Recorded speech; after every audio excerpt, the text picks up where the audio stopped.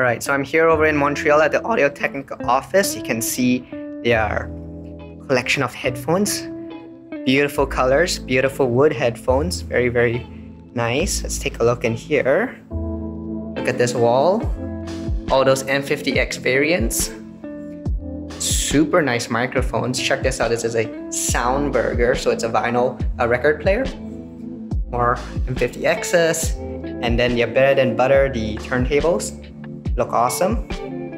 Let's take a look over here. Okay. Um, old school headphones. They're famous for their wood headphones as well. The 85,000. Another microphone, another wood headphone, another old school wood headphone, some tubes, and then the R70X, one of the best mid-range headphones you can probably get. And then they're going hard on the true wireless stuff. Very cool.